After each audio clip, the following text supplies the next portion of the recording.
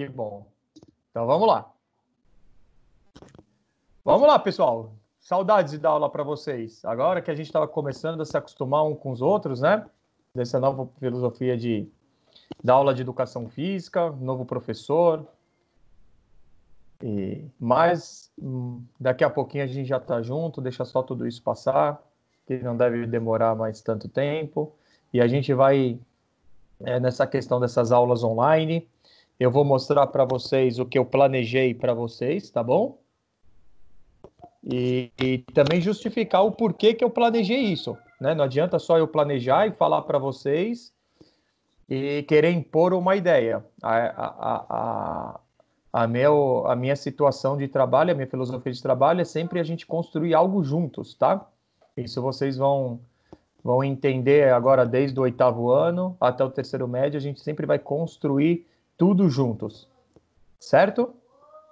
Eu vou estar compartilhando a tela para vocês. Vou falar um pouquinho de como que a gente vai fazer com as aulas de educação física agora remotamente, né? Dessa questão online.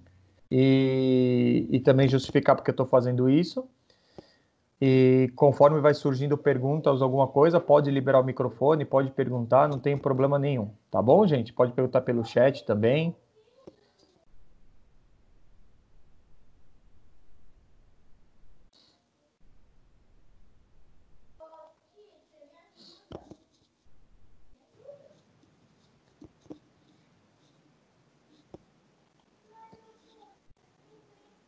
Pessoal, compartilhou a tela? Sim, sim. Sim? Bacana. Eu vou, sempre vou sim. precisar desses feedbacks de vocês, tá? Essas respostas de vocês, para que a gente consiga dar sequência na aula direitinho. Porque muitas vezes pode ser que, sei lá, caia a conexão da internet, é, que nem a questão do, do microfone, que tem que adaptar melhor ou de um jeito melhor para vocês me ouvirem, tá? Então sempre vou precisar dessa, dessa resposta aí de vocês, tá bom? Então vamos lá. Uh, o que que eu tinha, o que que eu tô pensando para nós? Uh, a gente fazer sempre, sempre isso. Uh, a, a primeira parte da nossa aula, 10 minutinhos no máximo, no máximo, estourando 15 de atividade física. Bom, então eu vou propor para que vocês executem aí na, na, na, casa de vocês, tá? E depois o resto da aula, que seria mais 30 minutos, é, ou até um pouquinho menos, que aí eu vou dar um tempinho para vocês respirarem, beber uma água. É, a parte teórica, na qual a gente aborda a questão do LIP que eu até passei o roteiro de estudo para de estudos para vocês e foi via coordenação perguntar o que, que era eu falei que era só leitura para que a gente pudesse discorrer melhor dessa matéria é, nas aulas, né? Gravar alguns vídeos para mostrar essa situação do LIP para vocês, para que vocês possam ter um melhor entendimento do que o sistema positivo está querendo abordar de conteúdo para nós, tá? Então, eu sempre vou estar tá modulando as aulas nesse sistema, de 10 a 15 minutos de alguma atividade, e depois o restante da aula teórica do LIP. E eu já vou estar tá justificando o porquê é, mais para frente. É, o que eu gostaria que vocês soubessem é que essa situação, do jeito que eu estou planejando, do jeito que eu estou criando as aulas, é pensando puramente em vocês, puramente vocês alunos, no melhor para vocês, no melhor desenvolvimento para vocês, na melhor ativação cerebral de vocês e numa conotação que vocês levem para cá. E hoje também já vou explicar tudo isso que eu estou falando para vocês posteriormente. É diferente da as outras atividades, aqueles 10 primeiros eu preciso que esteja se tiver problema de câmera, é abrir, mas enfim, por que, que eu preciso que vocês estejam com a câmera aberta?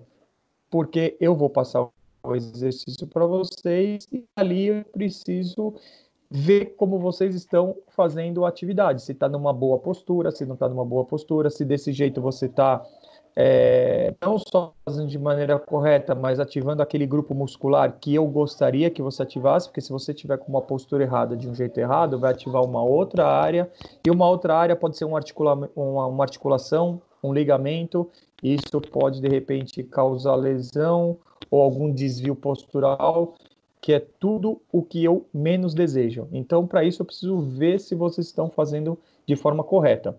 Não é uma forma de fiscalizar na questão de, nossa, ele está fazendo minha aula, deixa eu ver se ele está fazendo minha aula. Não, é numa forma de eu te ajudar a fazer o exercício de maneira correta, de maneira segura. Por isso que eu vou precisar sempre no início das nossas aulas que nós estejamos de aberta, então ponham roupas adequadas, fiquem sem pijama e assim por diante o microfone desligado, porque senão o barulho pode atrapalhar todo mundo, tá? E fica aquela, aquele som que mais nos, que nos ajuda. Então, câmera aberta, microfone desligado. Se tiver alguma questão para falar comigo, me fala pelo chat, levanta a mão na câmera porque eu vou estar de olho. Aí você ativa o microfone e tira a dúvida que você você queira pertinente à atividade, tá? mas estamos ali numa situação de dúvida. E o mais importante é você se alimentar bem.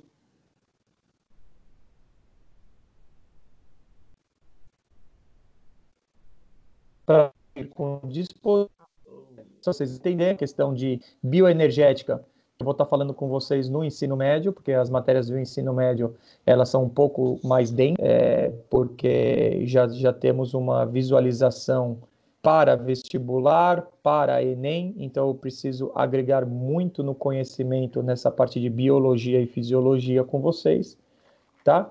Mas dando uma prévia, é, a questão é assim, ó. Vamos lá, vamos pensar juntos. Se vocês fizeram uma refeição, é, vocês acordaram 7 horas da manhã para ter a, a, a, a aula às 8, estão sem ingerir nada, e agora são são 10h40, até agora vocês não tomaram café da manhã. Olha que coisa, vocês ingeriram a última refeição lá das da noite e já são quase 11 horas e nada. Ou seja, vocês já estão praticamente a 14 horas sem pôr nenhum tipo de comida no corpo. Então, eu querer fazer meu corpo funcionar sem energia é a mesma coisa que eu tentar fazer um carro funcionar sem combustível.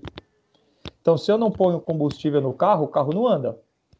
E se eu não ponho energia no meu corpo, meu corpo não vai produzir o que precisaria que eu produzisse, tá? Aí ele vai ter que utilizar de artifícios para eu sobreviver. Isso não é bom, tá? Eu não quero entrar muito nesse assunto porque é uma matéria mais para frente. Mas, a me... é, mas o seu corpo começa a consumir a sua massa muscular, ela começa a quebrar a fibrinha da sua musculatura para transformar ela em energia, para você poder viver. Só pelo fato de você achar que não era legal comer. Ah, mas professor, eu não tenho fome, eu não. Tem que começar a se acostumar. Acordou, nem que seja um iogurte, um café com leite, um suco, alguma coisa você tem que começar a colocar para dentro do seu corpo, algum combustível você tem que começar a colocar para dentro do seu corpo para que ele possa produzir é, e tirar dele o que ele tem de bom para no, no, nos ofertar. Talvez, fazendo essa questão dessa analogia, nosso corpo sem combustível, nosso cérebro sem combustível é a mesma coisa que um carro sem combustível. Ele não vai funcionar direito e muitas vezes ele não funciona. Por isso que muitos alunos, quando não tomam café da manhã e vêm nesse largo jejum, né? Jejum é quando a gente fica um tempo sem comer. O que que acontece? fica na carteira dormindo, com sono, não tem vontade de fazer nada e só dorme, baba na carteira e toma bronca do professor porque não está acordado.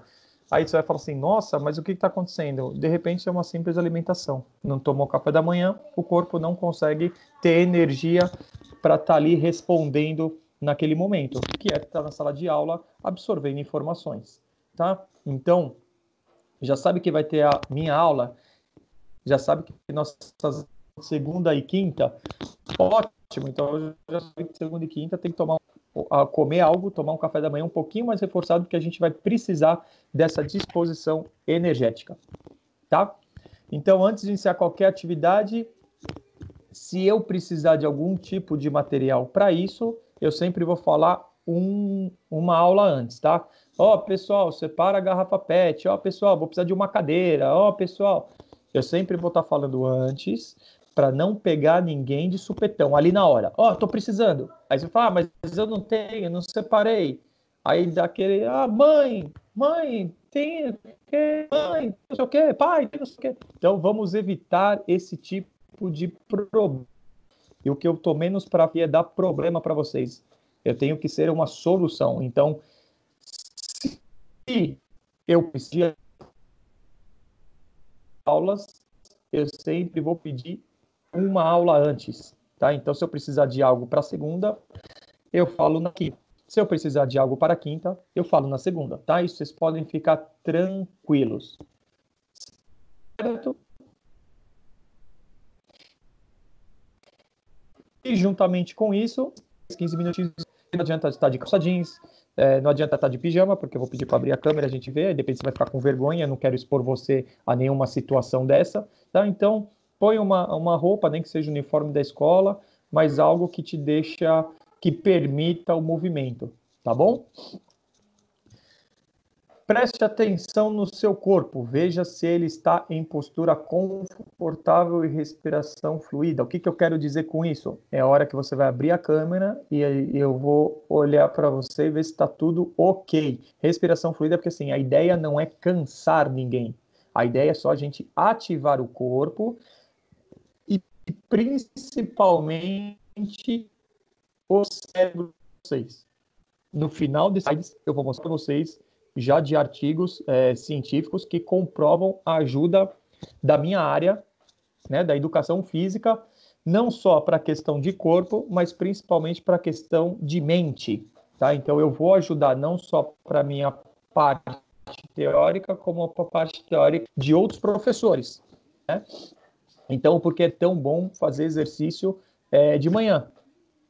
Tá? Então, eu vou estar justificando isso mais para frente, vocês podem ficar tranquilos.